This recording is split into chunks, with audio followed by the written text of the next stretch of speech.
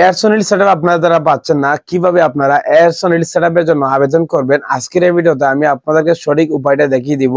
অনেকে আছে ফেসবুকে বর্তমানে নতুন মধ্যে কাজ করতেছে, অনেকদিন ভিডিও আপলোড করতেছে, অনেকগুলা ভিডিও আপলোড করছে কিন্তু ফেসবুক তাদেরকে এখনও রিল সেটআপটা দিচ্ছে না।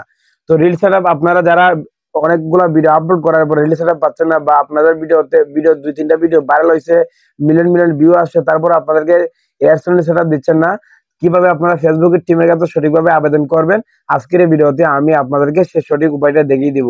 যদি সঠিকভাবে আপনারা আবেদনটা করেন, আমি আশা করি যদি আপনাদের ফেজের মধ্যে কোনো রকম সমস্যা না থাকে এবং আপনার ভিডিওতে অ্যাভারেজ ভালো পরিমাণে ভিউ এসে থাকে, আর আপনি যদি বেশি পরিমাণে রিলস ভিডিও আপলোড করে থাকেন, তাহলে আপনাকে ফেসবুক রিলস সেট দিয়ে দিবে।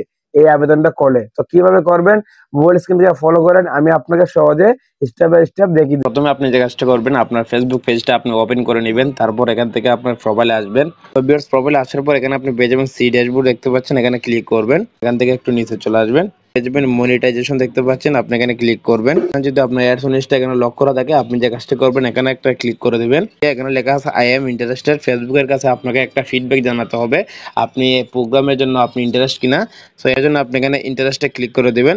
এখানে একটা গড়ে চলে আসবে, এখান থেকে আপনাকে কি লিখতে হবে আমি আপনাকে বলে দিচ্ছি। ঠিক আছে, আপনি I am interested this programme লিখে আপনি ফেসবুকের কাছে এখানে দেখতে পাচ্ছেন সাবমিট সাবমিট একটা বাটন সো আপনি কিন্তু সাবমিটে ক্লিক করে দেবেন।